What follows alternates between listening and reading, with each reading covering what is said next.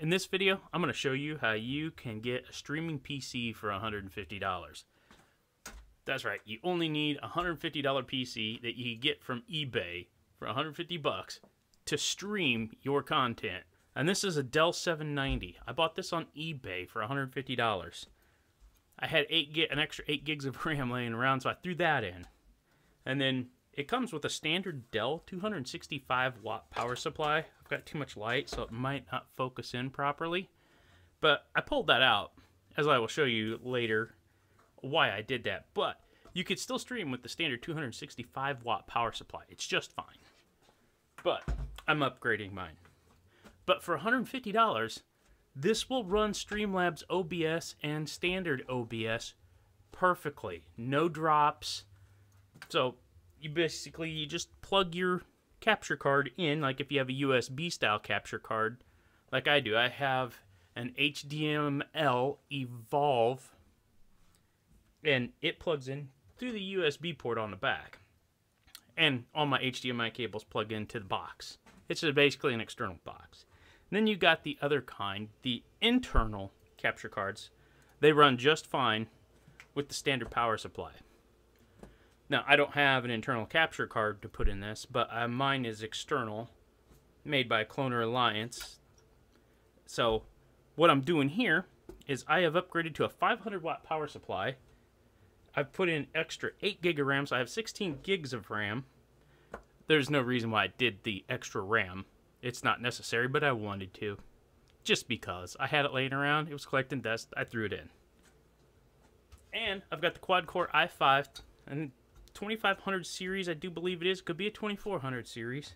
I'll have to run the spec tests again.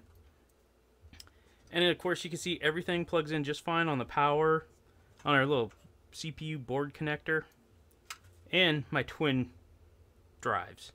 Now, the reason why I upgraded the power supply is because I'm putting in an NVIDIA Quadro FX 3800 series graphics card.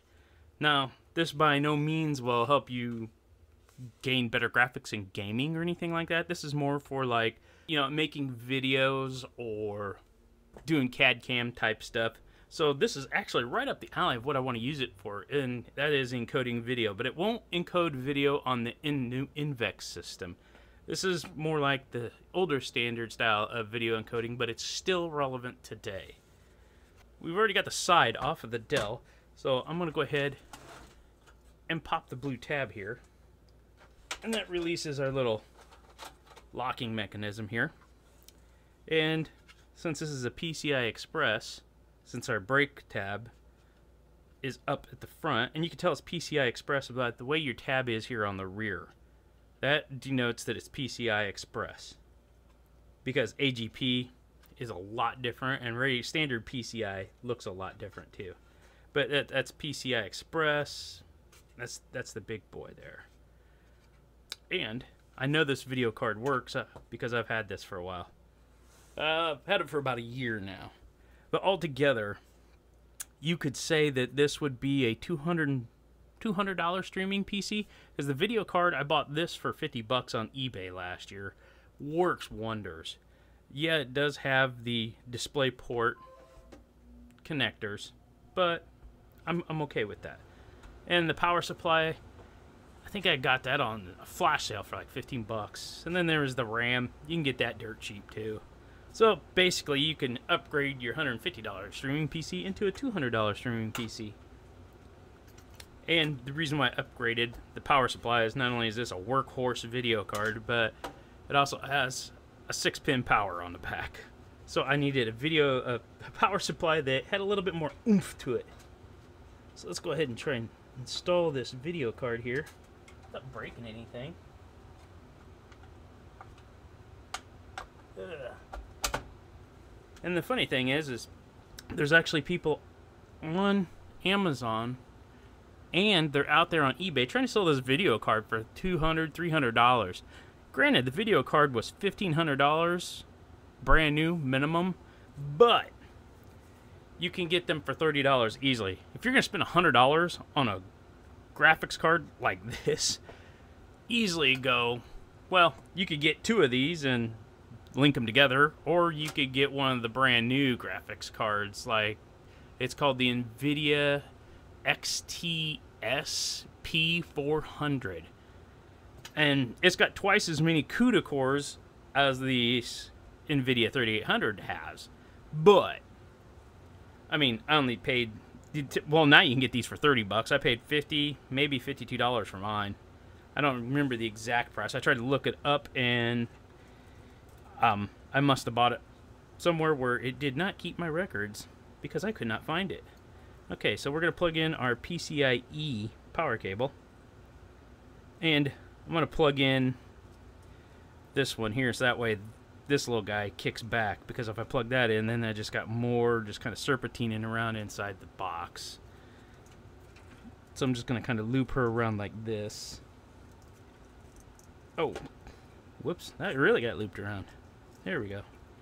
Turn it upside down and inside out.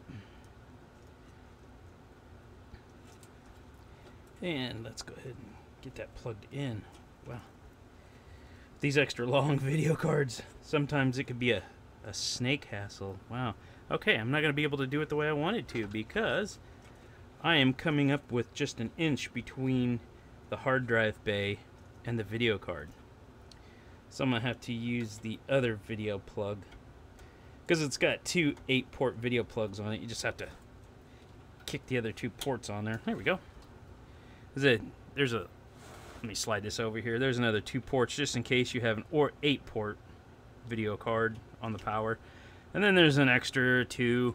Now my I do know of one video card that would actually use both of those. And that's my old 460. I think it was a 6. Yeah, it's my old NVIDIA GeForce 460. That was a beast.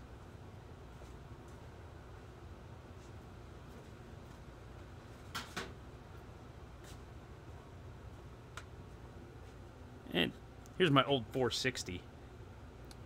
I've had this for a while. I bought this brand new. This cost me a pretty penny back in the day. See, twin six-port power plugs, and this thing, it actually used them. It was, oh, it was, it was masterful. Okay, there we go. Make sure we got our power cords down so the back, well, the side of the case goes back on easily. But I'm not going to show you a power up because I am in my workshop in the basement, unfortunately. So, here we go. Oh, I made a boo-boo. I forgot to lock this in. Never do that.